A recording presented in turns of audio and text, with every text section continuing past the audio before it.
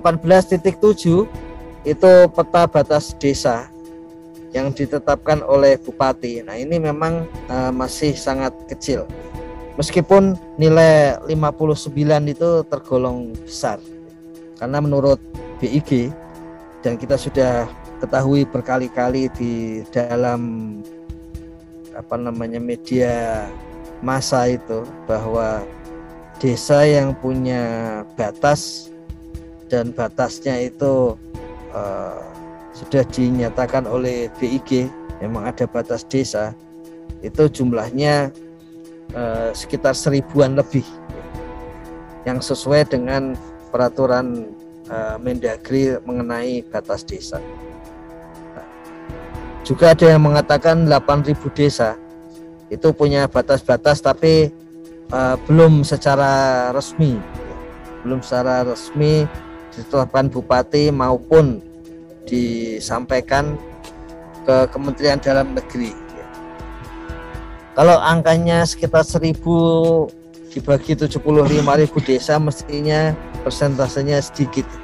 Tapi bahwa di sini ternyata uh, sampai 59,55 persen, maka itu uh, bisa memberikan jalan bagaimana supaya uh, bupati dan wali kota bisa lebih cepat menetapkan batas desa.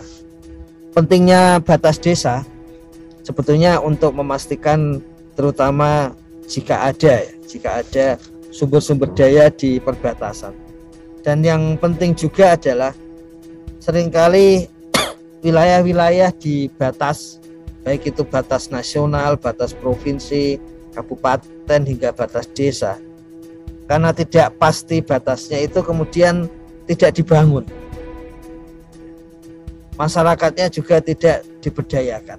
Jadi ada kerugian bagi kalau di desa ya, bagi warga yang tinggal di batas desa seperti itu.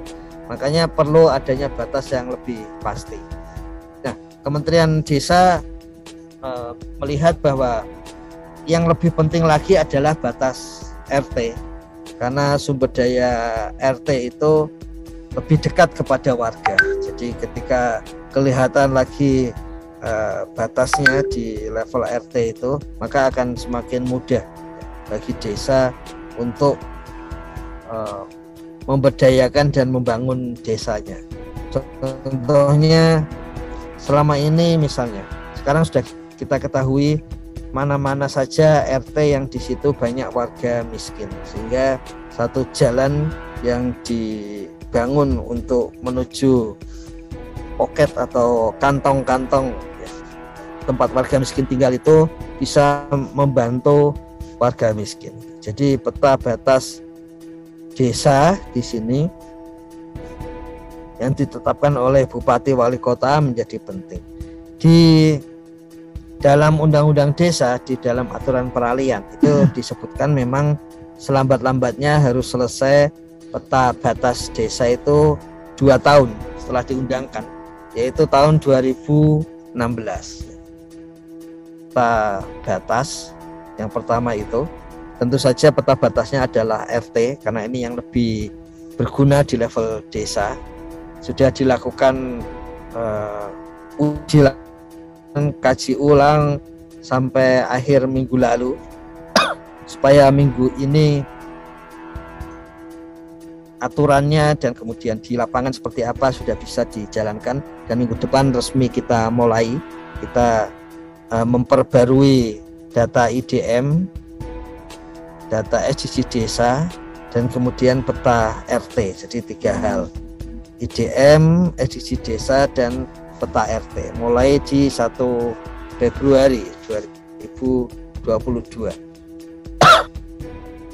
nah Peta batas ini kemudian bisa ditetapkan oleh bupati, nah, namun dengan melihat peta-peta yang sudah disusun secara partisipatoris oleh desa, Kementerian Desa juga menyiapkan uh, keputusan dari Menteri mengenai empat level peta desa, yaitu level satu yang memang sesuai peraturan menteri. Yang sampai sekarang masih dilihat sebagai hal yang sulit ter terutama sulitnya karena untuk memperoleh peta dengan uh, ketajaman seperti yang diminta oleh Permendagri itu di samping persoalan mahal tapi kalau mahal dengan menggunakan dana desa masih bisa gitu. Tapi pemenuhan peta itu pemenuhan peta itu yang memerlukan peta citra satelit resolusi tinggi yang harus kemudian sebelum sampai ke desa peta hasil satelit itu masih ada proses penegakan peta. Setelah ada proses penegakan peta masih harus ada pengecekan ya pengecekan kondisi lapangan kemudian uh, penggunaan berbagai berbagai alat melalui komputer dan software ya. Yang kemudian terakhir tentu saja persoalannya adalah soal batas. Nah, Kementerian Desa melihat bahwa sebetulnya aplikasi teknologi informasi sudah menyederhanakan itu semua. Sudah menyederhanakan itu semua sehingga uh, sangat mudah untuk dijalankan.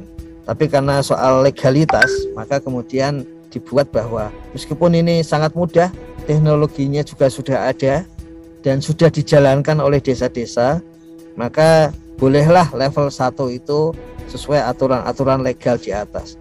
Tapi level 2 asalkan itu bisa mencerminkan peta-peta RT, maka pasti bisa digunakan untuk penyusunan RKPDes dan APBDes peta level 3 yang tidak terlalu detail tapi bisa menunjukkan batas-batas desa maka tentunya bisa digunakan untuk menyusun uh, eh, RPJMDes yang yang enam tahunan.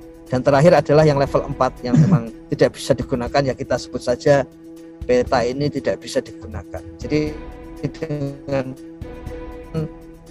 usaha-usaha yang dilakukan oleh desa selama ini secara partisipatoris untuk membuat peta desa, peta RT, bahkan ada yang sampai detail keluarga, itu bisa memiliki legalitas untuk digunakan pada aspek tertentu, yaitu aspek perencanaan tahunan maupun perencanaan enam tahunan di desa. Ya.